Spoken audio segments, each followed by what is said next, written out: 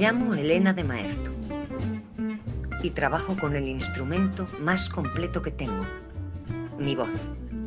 Este taller eh, se está impartiendo en el campus de Segovia, en, en la Universidad de Valladolid, desde el año 2012. Este es el sexto seminario que hacemos del taller de lo- locución y doblaje. ¡Estás empeorando las cosas! ¿Empeorándolas?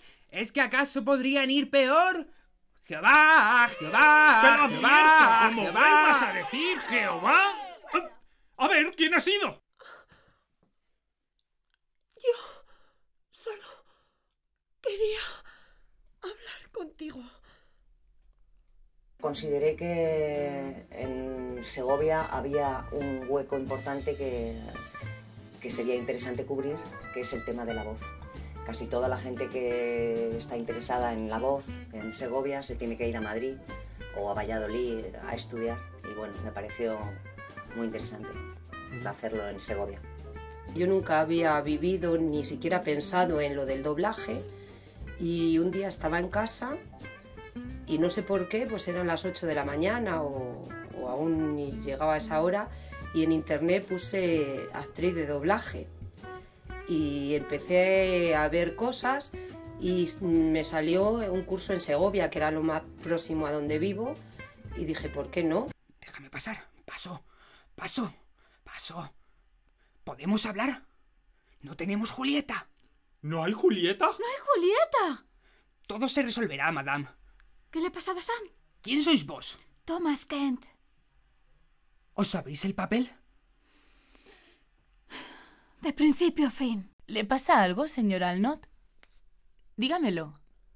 Pues descubrí este seminario gracias a, sobre todo, el correo de la UBA, que está relacionado con los estudiantes, y gracias también a los numerosos pósters que he visto en la calle, tal, lo vi y me llamó bastante la atención, la verdad.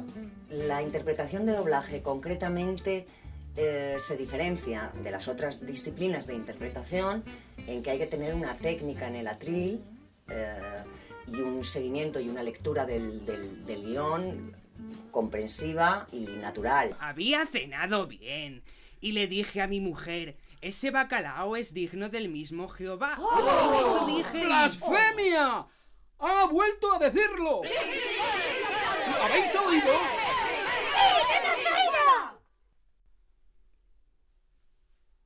Para, para, pa, para. Yeah, sitting in the rain. y adecuada y exacta a lo que se ha hecho, el trabajo original que ha hecho el actor original en la película original. Pues lo que más me llamó la atención fue el hecho de poder llegar a ser un actor completo. Y aquí, claro, no puedes moverte nada, todo lo expresas con la voz. Me ha llamado la atención que es muy diferente, ¿sabes? Eh, el tema de ponerse al micrófono, el tema de, de cómo tienen que hablar los personajes y todo. Y cuando creyó estar solo, justo en ese instante, llegó un castigo del cielo.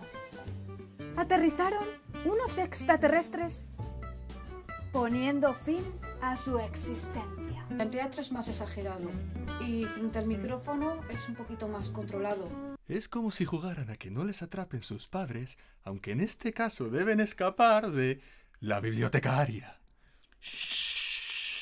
Silencio. Si mi pobre madre la oyera. Además, ¿de quién es este barco? No lo sé. ¿No estás diciendo la verdad? Me parece que tienes ideas muy concretas de lo que hay que hacer con Dani y me gustaría mucho saberlas. Un actor eh, tiene que tener una, sacar unas emociones y unos sentimientos, pero siempre es mm, a través de un tiempo que transcurre una obra o unos momentos determinados y aquí en el doblaje pues es ya. Eh, o sea, en el momento y en lo que dura un take tienes que tener ya esa emoción, ese sentimiento y claro, a mí me alucina eso. Nos atraparán a todos. Nos veremos en la cárcel. ¿A que no me coges? ¿Pero qué estáis haciendo? ¡Corre, corre, corre, corre, ¡Corre, corre, corre, corre!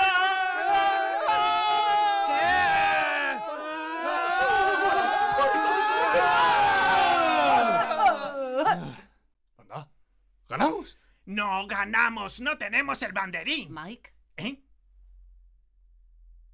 Lo que más me ha llamado la atención, eh, yo creo que son los temas de cine. La narración me ha gustado bastante. La narración y el tema de documentales. A mí el doblaje de las películas. Matías, hijo de Deuteronomo de Gas. ¿Diego presente? Sí. ¡Presente! ¿Sam? No es culpa mía, maestro Shakespeare. Ayer podía hacerlo. V- Vamos, di, di unos versos, una línea. O si no quieres o tu amor me juras. ¡Ay! ¡Oh!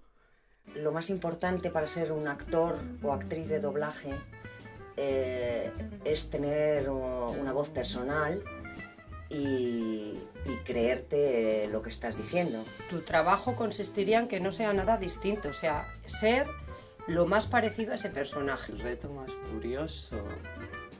Mm, creo que ponerle voz a un monstruo de S.A. Más rápido, despacio y seguro. Despacio y seguro. Despacio y seguro. Despacio y seguro. Despacio y seguro. En doblaje no puedes ensayar y no puedes eh, hacer ejercicios para respirar. eh, tienes que llegar y hacer. Estar relajado, estar relajado y no tenerle miedo al, al atril. Resulta también muy difícil, pero también muy bonito. Pues lo que me llevo de este curso es el hecho de que hay que ser constante con lo que se quiere, que hay que esforzarse y que nada viene regalado. Si es lo que te gusta, te lo tienes que currar. Por mi virginidad ya tan lejana le pedí que viniera. Pues entonces iremos de día, pasaremos por la orilla más alejada del Sena lo más deprisa que podamos. Ni lo sueñe. Usted dijo que iría. ¿Quién ha tirado esa piedra?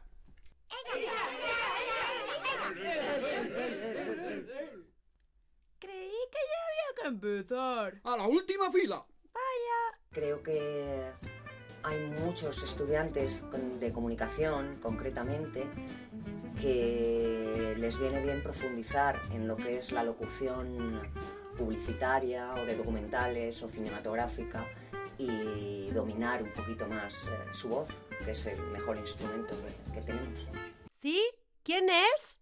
Perdone, señora, ¿me podría ayudar? Ha habido un terrible accidente. Mi amigo está en la carretera desangrándose. ¿Podría pedir por teléfono una ambulancia? He dicho silencio.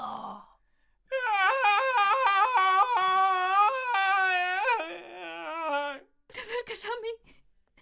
¿Por qué? Solo quiero volver a mi cuarto. ¿Por qué?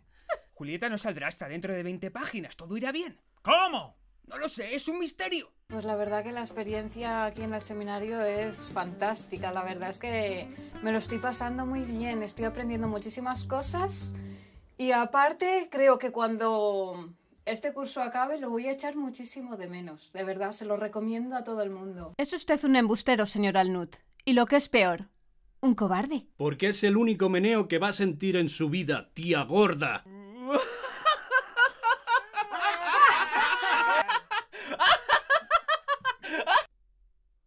Julieta, hija, ¿estarías dispuesta a desposarte? Claro que lo haremos, que ella tan absurda. ¡Basta! ¡Basta! ¡Basta! Ya está bien, suficiente. Somos nosotros quienes la afinamos y educamos. La voz es nuestro instrumento para proyectar las emociones, para empatizar o rechazar. La voz es una herramienta básica para la comunicación. La voz es única y extraordinaria.